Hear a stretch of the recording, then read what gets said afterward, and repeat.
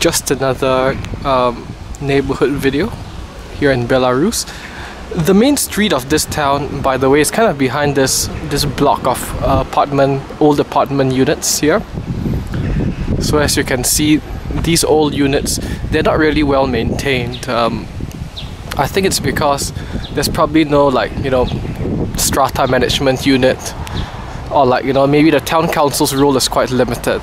A lot of people living in these places, they probably own them, probably given to their family in the ex-Soviet times and they've just continued to live this way. So you can actually see it's like block of flats. I mean, that would make sense because this is the inner city. Even though not far from here, there are lots of private houses too, which would have been inherited in the same way. So that this here is kind of like, you know, the the local dump. And here you see they've got this kind of like recycling, well not baskets, not crates, um, yeah, these recycling cages if you will, for lack of a better word, right? And there you can see that toy toy thing there, that's toilet there. So yeah, they actually have outdoor toilets here which is pretty cool and now it's the middle of summer. It might look like it's snowing but this is actually a local plant species. I think it's called the cottonwood tree. Yeah so fluff all over the place. It isn't snow. It isn't a winter wonderland. Not at this time of the year. It's midsummer. Right and down there what appears well what is an indoor like soccer court? Right or at least it looks like from a distance and these are places where kids can play.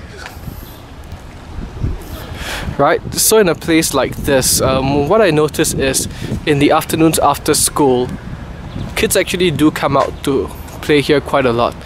They're not like you know say in uh, western cultures where they might actually be more inclined to play computer games.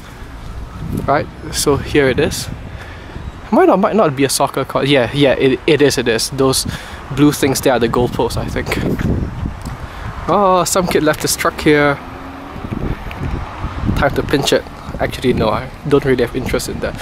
See, ev even their slides here, it, it looks kind of very simplistic, but as long as it, it works, it's okay. See, it's not very well maintained, is it? Oh, see, you can hear the, the sound of it everything else is quite okay. What's what truck's this? There's another one there, a swing. So you can kind of tell it's um, it's not really like you know this war-torn, disgusting looking place. Not at all.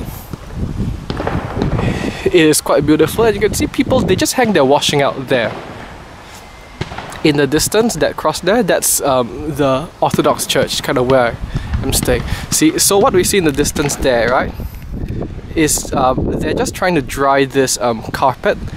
So I think they have a belief that one way of drying it is to beat the living daylights out of it. Right, you, you can see absolutely beautiful. It's just a normal you know suburban type neighborhood you could see okay maybe you can't see that but there's a stray cat there behind that that car. Pigeons everywhere. Oh look that it yeah that doesn't look like a kid. Maybe an adult playing on the swings or a teenager and that's probably his grandpa no beating them up like like beating up scums.